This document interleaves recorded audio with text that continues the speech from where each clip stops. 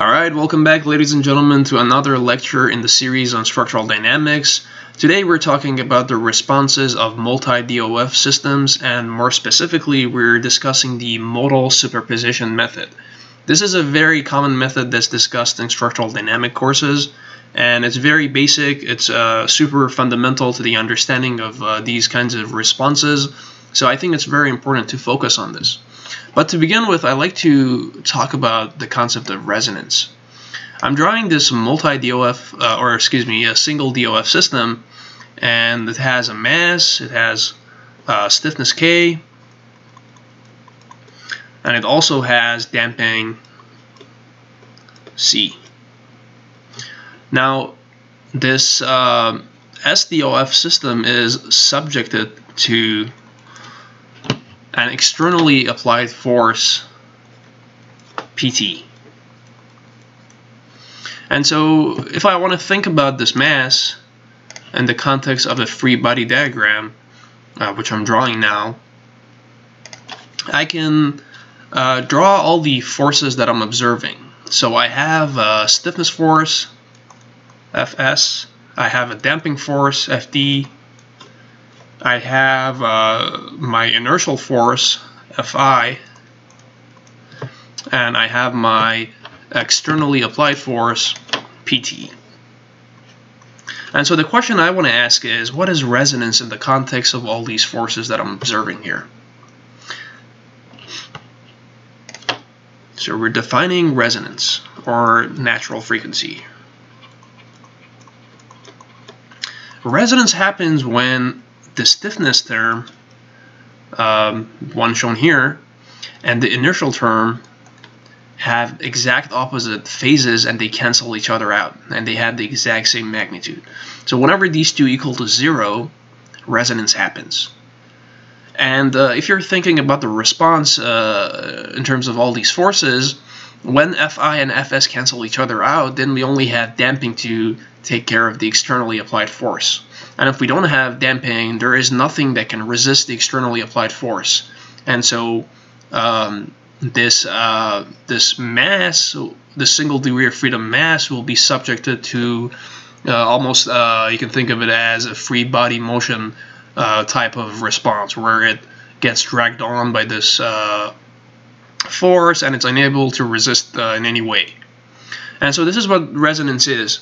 And um, you know, if you remember, we could um, detail this in a different way. We could have Ku plus Mu dot dot is equal to zero. And really, if we don't have damping, there is no way to handle resonance.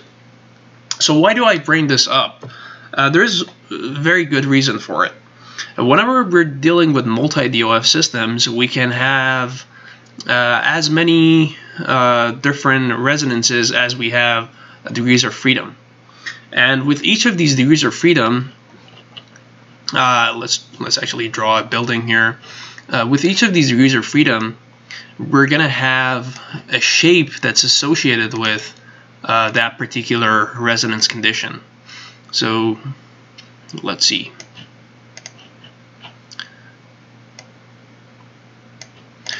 All right, so this is my two-story building. And um, this is my ground floor.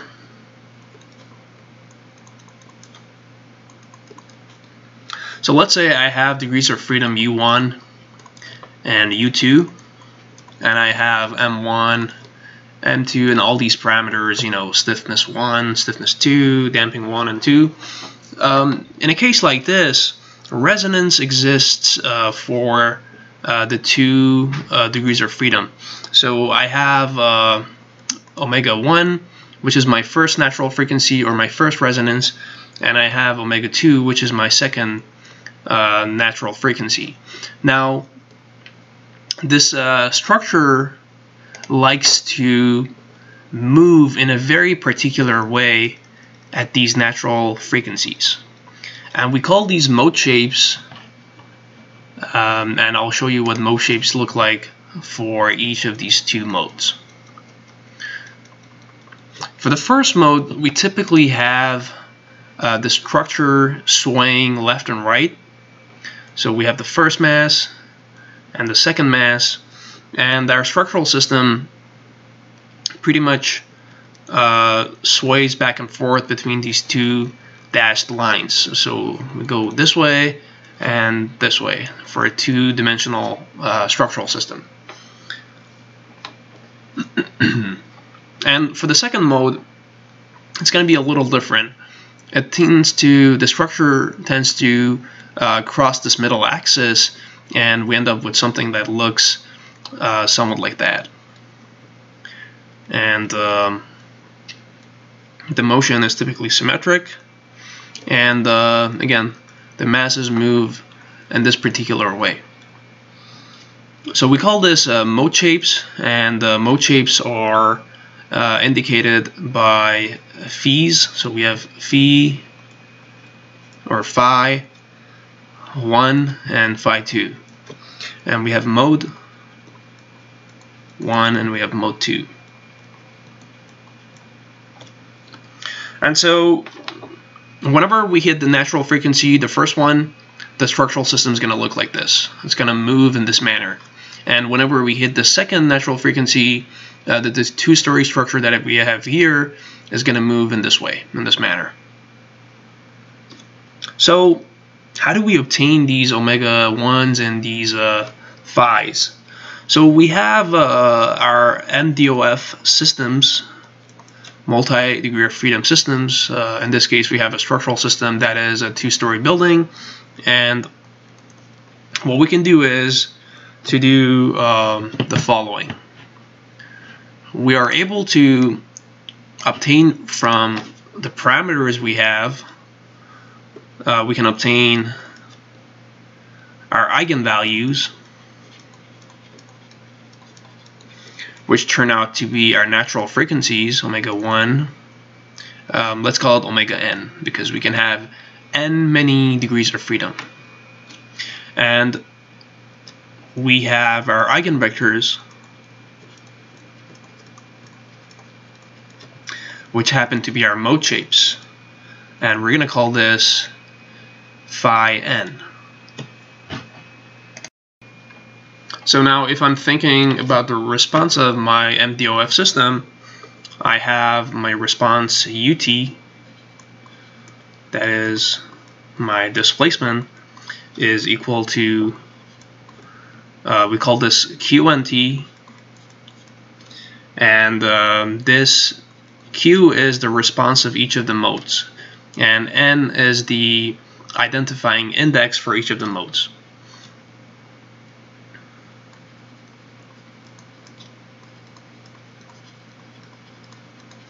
Multiplied by phi n, or phi n, excuse me. And phi n is obviously the uh, shape of the mode, so we call it mode shape. So if I'm thinking about the response uh, for a single degree of freedom system, um, and we're interested in the response for uh, free body free uh, or free vibration uh, in the undamped case, uh, we typically end up with a response that looks like this. We have an cosine omega n t plus uh, the sine term. So we have bn sine omega n t. So this is the response uh, of a single mode. And uh, in a two degree of freedom system, we're going to have two of these responses. A, or in a three degree of freedom system, we're going to have three of these responses. So this is just one of these, one of these uh, responses. And so uh, I can express UT, which is my actual deformation response, as phi n multiplied by qn, which in um, the last page we described as follows.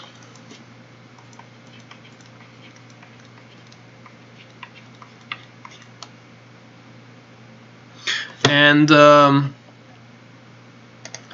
In a situation like this, typically our omega, which is our natural frequency, and our phi, which is our mode shape, these guys are unknowns. And our interest in uh, our interest is in identifying what these values are because uh, once we find them, we can solve uh, this equation and obtain what our responses are for a multi-degree of freedom system. And so what I want to do now is to plug this equation that I'm highlighting with the star into my uh, equation of motion. So I have a matrix M multiplied by a vector U dot dot plus matrix K multiplied by vector U is equal to 0. So I plug this into here, and what I end up uh, getting is omega n squared minus m phi n plus k um, phi n. And we have qnt is equal to 0. So that's what we have. and so you can think about this as uh, these parameters as uh, vectors. Uh, these are all vectors. And you can think about uh, these mass and stiffness terms as matrices.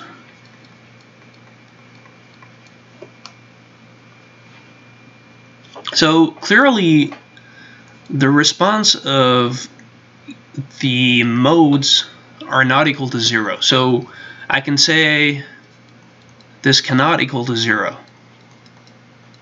And so when I'm doing the algebra, I can focus on this left bracket and pretty much say that k minus omega n squared m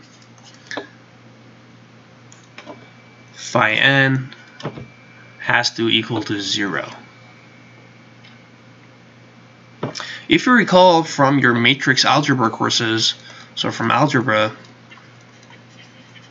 we had a this expression where we said for any matrix A and the eigenvectors of that matrix um, expressed as V, we have its eigenvalues lambda multiplied by the eigen uh. So what we can do is we can assume this is A, and we can identify what the eigenvectors and uh, eigenvalues of uh, this uh, mass stiffness structural system are going to be.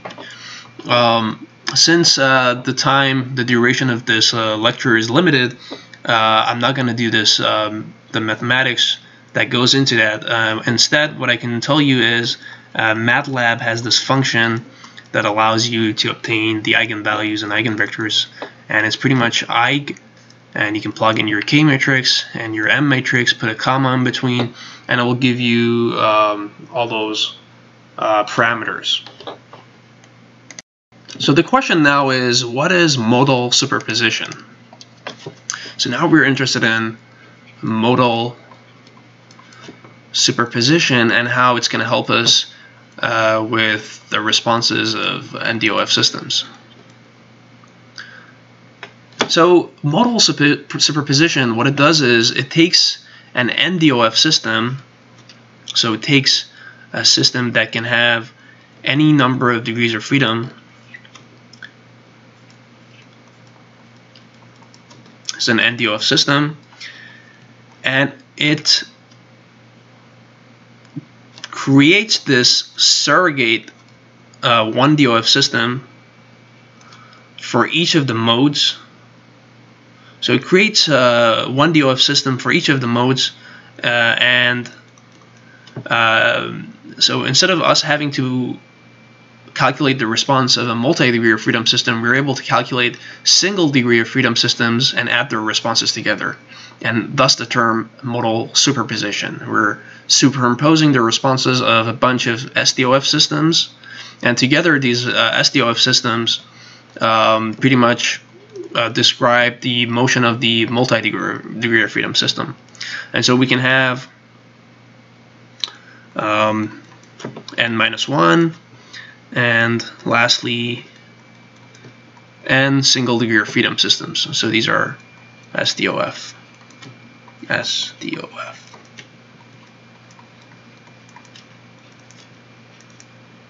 So that's what we have.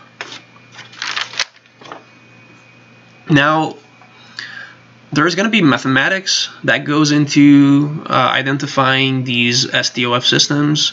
And now we need to think about how to go from a multi-degree of freedom system to a bunch of single degree of freedom systems.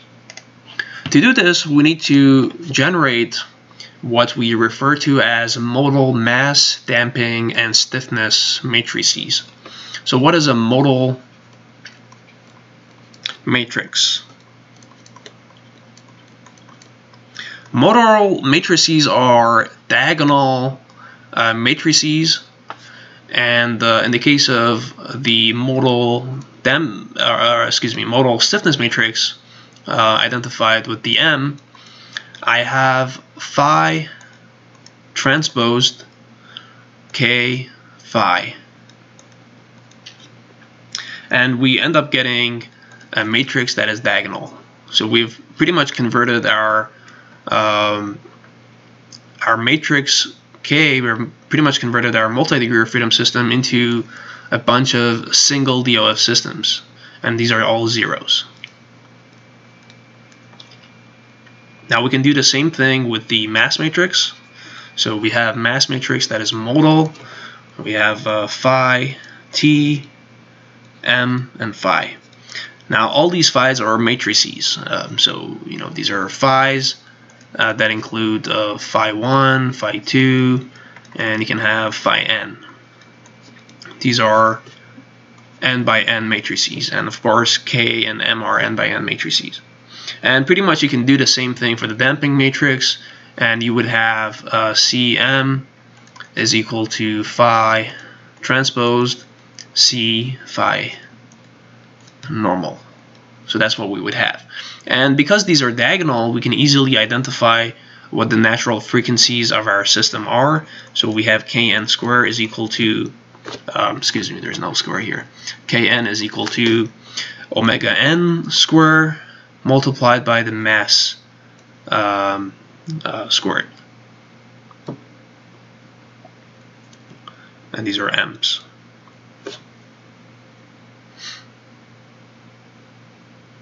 And so if you want to think about this in terms of the equation of motion, in the past we have had uh, the following. We have had a mass matrix, uh, this vector, and the rest of the equation of motion.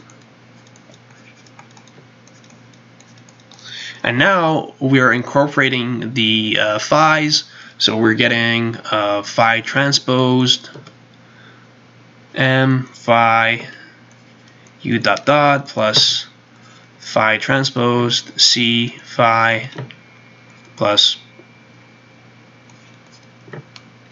phi transpose K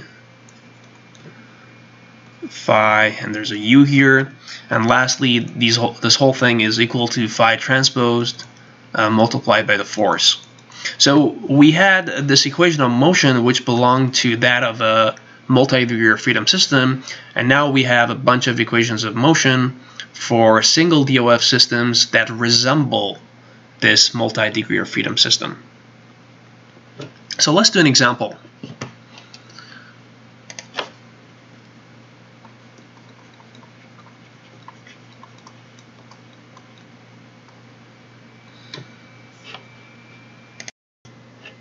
We are given this 3 DOF system, 3 degrees of freedom, and uh, with this uh, three degree of freedom system, I have the following degrees of freedom. I got U1, U2, and U3. And I know in the past we've identified degree, degrees of freedom the other way around, uh, going or counting from down up.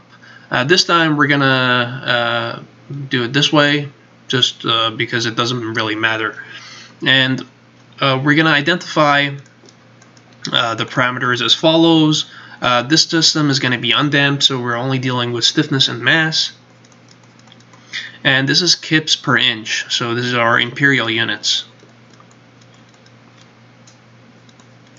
and I hope those of you who um, don't live in the U.S. aren't bothered by um, this uh, the system that I'm using. And so we have uh, K3, and K3 is equal to uh, 1800. So the building is getting gradually stiffer as we go down, and this is really how buildings are designed. And so we have uh, mass 1 is equal to 1 kips second squared uh, divided by inches. And we could say mass 2 is equal to m, and mass 3 is also equal to, uh, or excuse me, mass 2 is equal to 2, and mass 3 is also equal to 2. So that's what we have. And the forces that this uh, three-story building um, experiences is a vector also 3 by 1 and it's described as uh, 100 multiplied by cosine omega t um, so we have a sinusoidal force that is getting applied at each of the stories at each of the degrees of freedom and the units for this are kips the first thing I want to do is to identify my stiffness and mass matrices. And let's not forget, by the way, this is an undamped system. Is undamped, so we're not dealing with uh, stiffness parameters or anything. Okay, so let's identify our uh, matrices. So for K, I have 600 minus 600, 0. 1800 minus 1200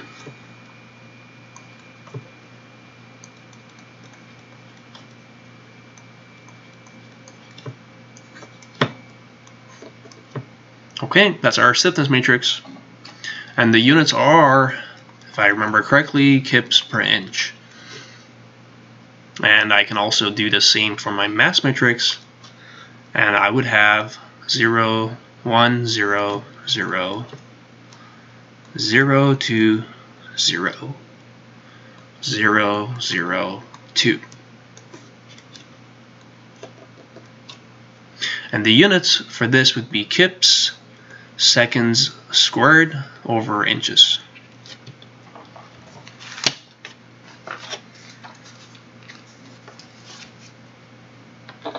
So what I can now do is to go on MATLAB and say, give me my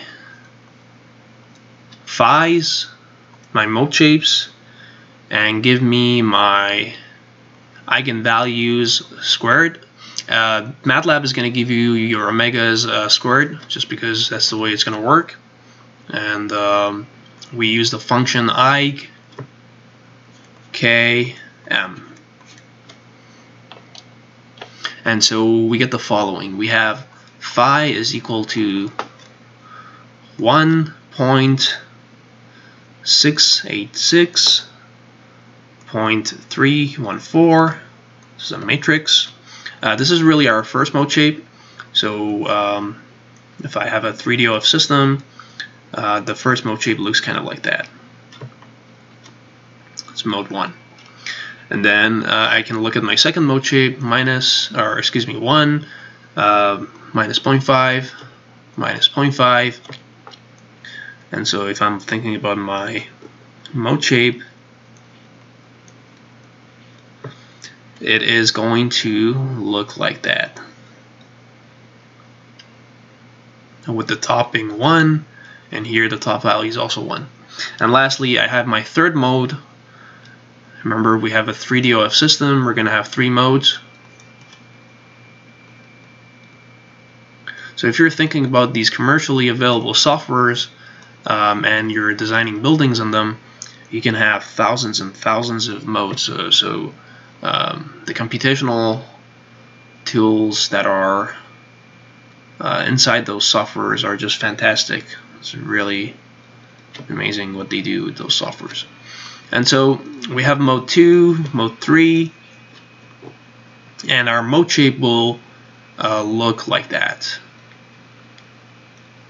One trick that I usually use I don't know if it holds true for all structural systems or not, is that uh, our mode shape tends to cross the central axis uh, depending on what the mode shape is, what the mode number is. So for the second mode, uh, for the first mode, it never crosses. For the second mode, there is one crossing, and for the third mode, uh, there is two crossings.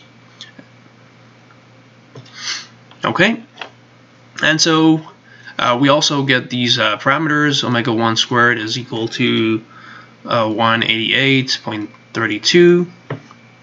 Omega 2 squared is 900. And lastly, omega 3 squared is equal to 1911.7. So now what I want to do is to identify my modal matrices.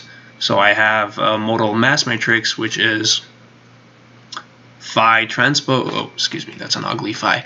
So we have phi transposed m phi and we get the following diagonal matrix. 2.14 2 3.04 this is a diagonal matrix.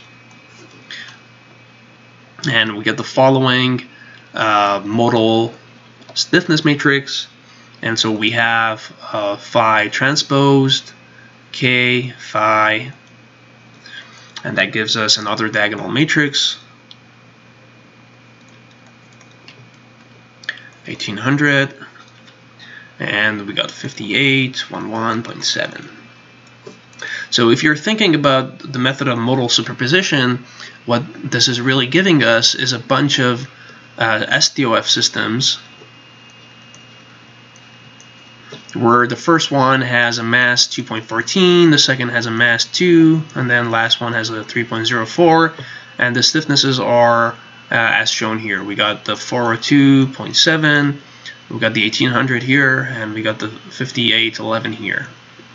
And so the responses of these three single degree of freedom modes combined give us the response of the multi-degree of freedom system. Thus, the method of modal superposition. All right, the last thing I want to do is to do the superposition of my forces, uh, or excuse me, the, the transformation of my forces. So I say FR is equal to uh, phi transposed PT.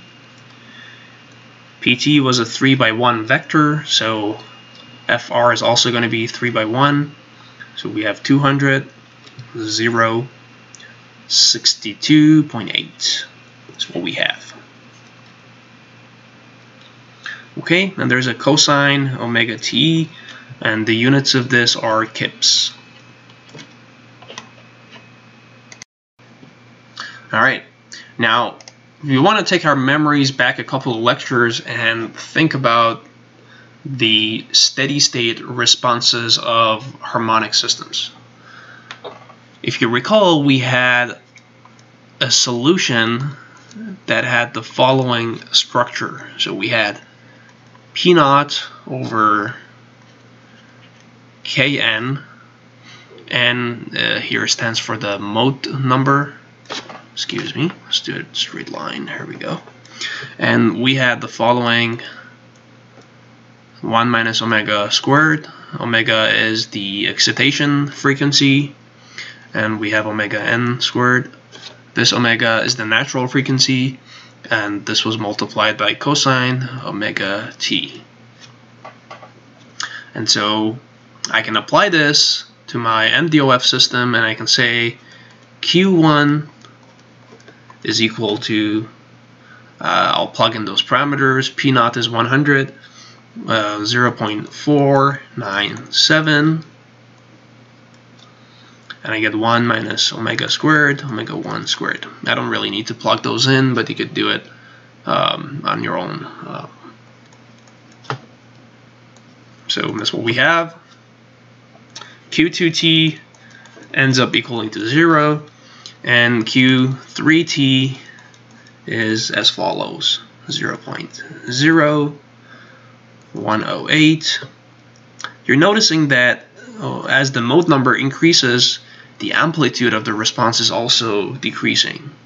So that's telling you that the first couple modes are always the most important. So if you have a really, really build, build, big building or um, any kind of other uh, structural system, uh, the first couple modes are the most important typically.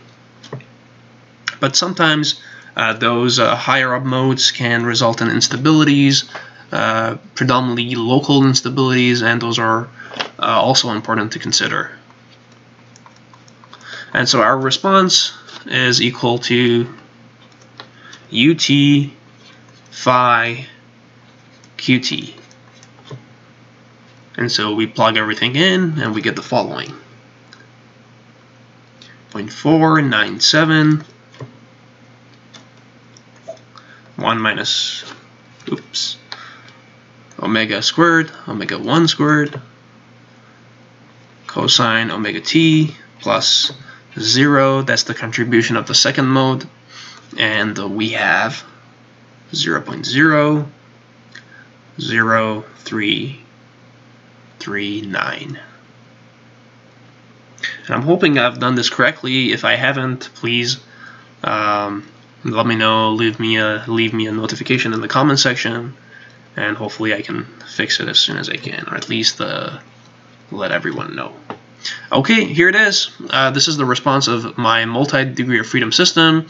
And this last equation, this last part is where we're really uh, superimposing the responses of the three uh, single degree of freedom systems to find the response of the total bigger multi-degree of freedom system.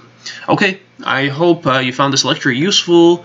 Uh, again, leave any comments, feedbacks, questions in the comment section, and hopefully I can uh, get back to you. All right, I'll see you next time.